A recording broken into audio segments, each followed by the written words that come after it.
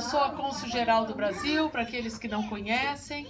Nós hoje estamos aqui nessa festa de confraternização e eu queria dizer a vocês, primeiramente, que eu queria desejar a toda a comunidade brasileira da Suíça Romanda um Feliz Natal, boas festas, um ano de 2016 pleno de saúde, oportunidades e prosperidade.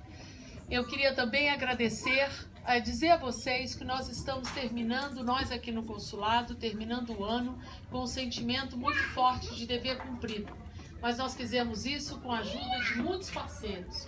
E eu queria destacar o Conselho de Cidadania da Suíça Romana, que se, que se ofereceu, que, que trouxe o seu voluntariado, que entendeu as nossas limitações no consulado, mas também a nossa determinação em fazer uh, os nossos projetos e levar adiante. E um desses projetos nós estamos lançando hoje, é o Ligue 180 é uma campanha de combate à violência doméstica. É um problema que nós temos aqui na Suíça Romana e em outros lugares também, inclusive no Brasil. Nós queremos que vocês prestem atenção a isso, que não saiam sem levar uma cartilha dessa. Seja para você mesma, seja para uma vizinha, para uma amiga, para alguém que você conheça que precisa dar o primeiro passo.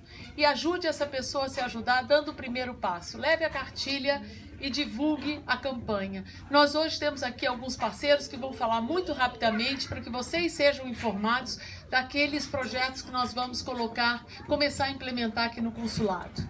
É, eu vou chamar então, primeiramente para falar, o pastor Richard, que é o porta-voz do Conselho de Cidadania. Muito obrigada a todos.